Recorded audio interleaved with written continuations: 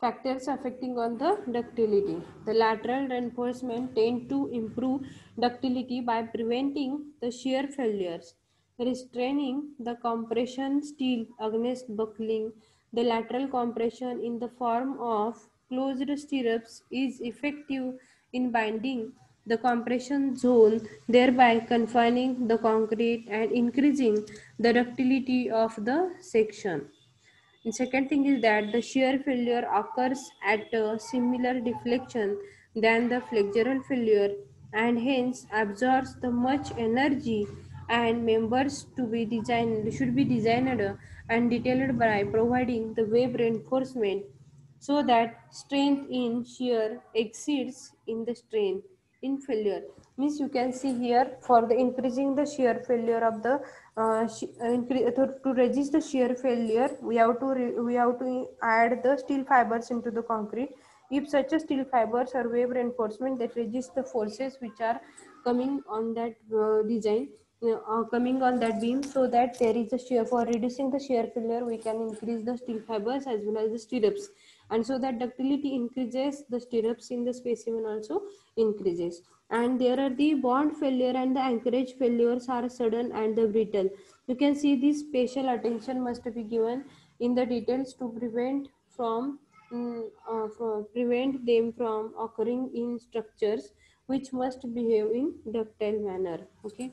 You can see here in this the bond failure and the anchorage failure if the materials are um, brittle materials then there is a then automatically there is a failure occur but if the materials are um, are ductile material if ductility is induced into the material then there is a resistivity power and so the, there will be a resistivity um, of that structure to resist the earthquake loads or the dynamic loads and so that structure becomes a safe but while there is a material like a brittle material then automatically that that material having the less uh, the less strength to resist the forces which are come under the under the dynamic loads and so that we have to take care about the ductility which is induced into the structure and that is the special attention must be given in details to prevent them from occurring in structures uh, and which must behave in a ductile manner.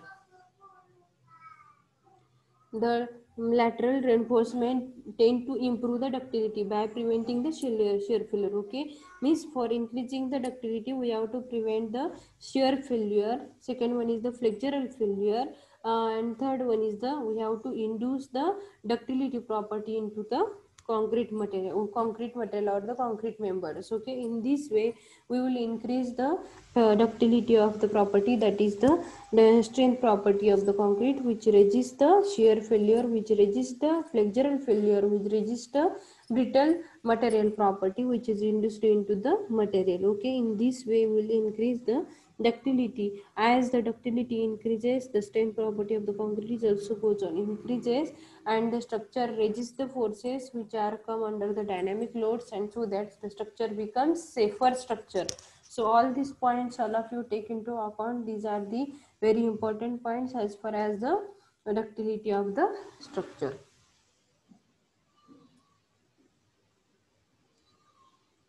already we have seen in the last lecture that are the factors of uh, that is the how to measure the ductility with respect to the structural ductility and the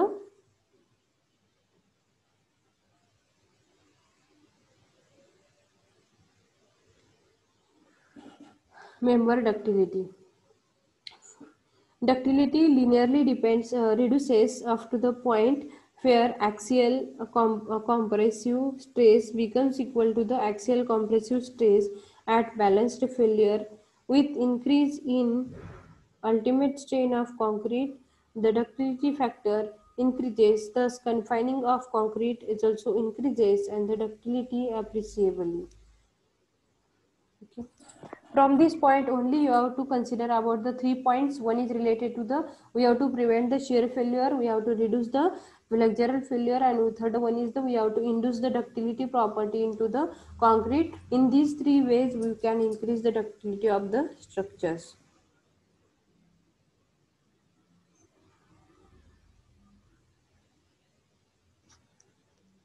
In this way our unit number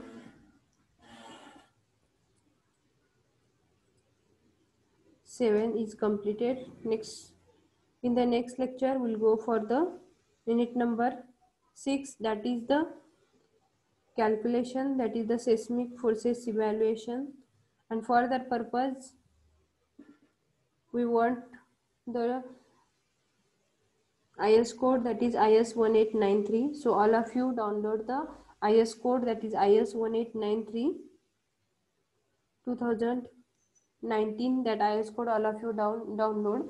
And if you know the IS code and based on this IS code we'll go for the problems okay first all of you uh, if you have the IS code then and then you will get this all the ideas ठीक आहे तर तुम्ही I S code next लेक्चरला download करून घ्या त्या I S कोडमध्ये काय काय असणार आहे तर all the step wise procedures are given in to that I S code and based on the step wise procedures we will go for the calculation of seismic forces on the three story or four story or single story building and that question will be asked for your examination for the 10 or 12 or 14 marks okay? More than 10 marks you will get for the problem that is the seismic evaluation of the forces. And that chapter is very important from our earthquake engineering. Compulsory there will be a one question which is asked for you okay? And so you have to know about the IS code that is is IS 1893 and you have to download this IS code in your mobile.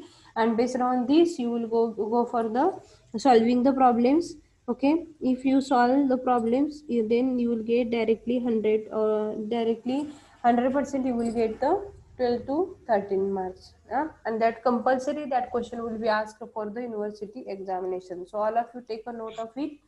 And in the next lecture all of you come with the IS code. We'll discuss the theory part first some of the stepwise procedure i will give you. And based on this we'll go for the uh, seismic evaluation forces problems on seismic evaluation forces with respect to the IS code so all of you take your uh, calci with you. Second thing all of you take your IS code with you. And based on this all of you solve these problems. Based on this you will get the out of uh, out mark for your university questions. Okay. Thank you. Today we'll stop here